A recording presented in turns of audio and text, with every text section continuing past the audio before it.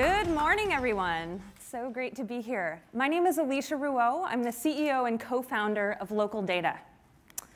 So we're in a city, the city of New York, and I'm sure you might have noticed it's changing. Cities across the globe are changing faster than ever before. We're in an era of more data than ever before as well. We have data about ourselves and about our homes. And we're moving toward an era of the quantified city. But unfortunately, the decisions being made about the future of cities don't always take this data into consideration. So if we go back to San Francisco, where I just flew, flew out from, there's a huge development being proposed uh, for the new Warriors Stadium, a $500 million development. It's beautiful. Um, and after the Warriors proposed it and picked out a site, spent a lot of dollars on the design, it got shut down. It was shut down due to a single ballot vote. And the reason this happened was because bad assumptions were made without good information. On the one hand, we had the citizens who were concerned about the impact that this development might have on their neighborhood, reasonable. And on the other side, we had real estate developers that were enthusiastic about the project but didn't understand that local context in enough detail. So if we fast forward to today, they've selected a new site. They actually purchased a new piece of land down the waterfront at Mission Bay. And this is Casey.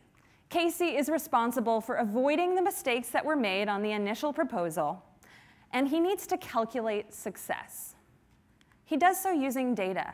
And he'll begin by understanding the site in deep granular context. He'll ask questions like, what is the existing behavior like in this neighborhood? Not just of the stadium itself, but the surrounding area. How do people move around the city? He'll send out collectors to try to understand this information using pen and paper, gathering information about the way that bicyclists use space or how pedestrians cross streets. And then from there, this is the tough part.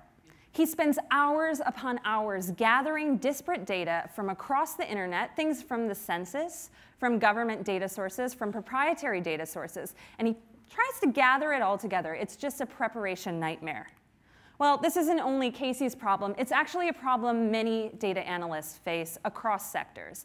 The New York Times recently reported that 50 to 80% of time is actually spent on that lengthy collection and preparation process. And that's just conventionally available data. Again, we're in an era of ubiquitous smartphones, more data than ever before that can tell us things like air quality coming from sensors, mobility, the way people move around a city. And that kind of information simply isn't being used in these major decisions. And that's due to technical roadblocks. Casey is not a programmer. He can't access this data. He sees a script and he shies away. So he's dealing with messy, raw government data that he's trying to bring together, and he's not even accessing the best data in the league. So this leads to costly assumptions and introduces risk, something no real estate developer wants in their project. So we created Local Data.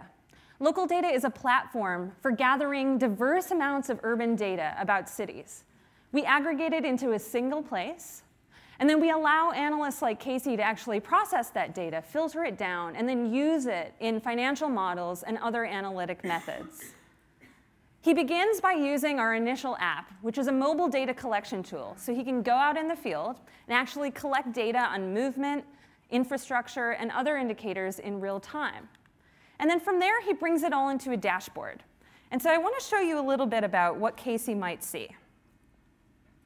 So if we go over to the browser, He'll begin by drawing the boundaries of his site, of the area that he actually cares about. It's not just the stadium, it's actually the context, so it's the whole neighborhood. And he draws a boundary so that his data falls within those lines. He can begin to add the surveys that he had those folks go out and actually collect, so bicycle counts. I can click on the data that was collected and see instantly a trend over time on how bicycles were used in that specific context. I can add other survey data like pedestrian counts that somebody else has gone out to collect. And then from there, I can add in other variables like traffic congestion, seeing in real time where the intersections that might be problem areas are on a map. The other thing I can add is that really interesting real-time social media data. In this case, I want to look at Instagram. I want to understand the organic patterns of behavior in cities at a granular context. So great, he's got all of his data on a map, and now he can export it to plug into his model. He can see at a glance statistical assessment of the area that he's, he's counting on, and he can use that to inform the decisions. So if I head back to the presentation, just press play uh, we can begin to understand what Casey might get out of all this data. He reaches a place where he is a win-win. He's moving away from risk and costly assumptions and moving toward a, a, safe bet and a shared understanding between the stakeholders involved in this process. We've launched local data in 25 cities across the globe, and we've had some great traction. We have 30% growth quarter after quarter, and we're well on our way to achieving 230K in real revenue by the end of the year.